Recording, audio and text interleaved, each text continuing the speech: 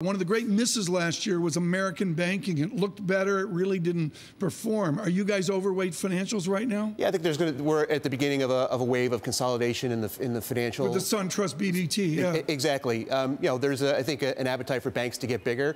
There are a lot of regional banks out there you see uh, uh, buy smaller banks.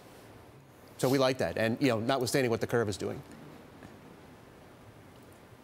But uh, Chris, talk to me about what the curve is doing. H how does it make it? You know, is there anything that it can actually make it more difficult for U.S. banks? Well, sure. Obviously, uh, you know, inversion. You know, there was a lot of optimism, uh, as uh, Tom referenced at the beginning of the year, that uh, curve steepening uh, would be good for the NIMS, the net interest margin. Um, you know, you saw some of that. The banks ended up having to give away a lot of that interest income to deposit holders, to, to get deposit holders. Um, so that was a, a, little bit disappointing in general. Um, but again, a, a, modest growth in the economy, a good economic uh, backdrop, uh, along with some consolidation uh, and, and low valuations, frankly, uh, probably mean you're going to see some gains in the banks.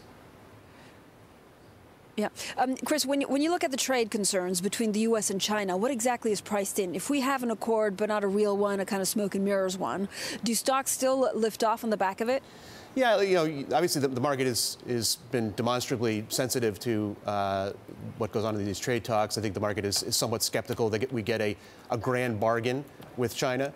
Um, but um, you know, I think if we get some kind of settlement, we, if we avoid obviously uh, the sort of Damocles uh, on March 1st and um, kind of kick the can down the road with some you know, modestly better uh, deal with China, the market uh, will respond positively.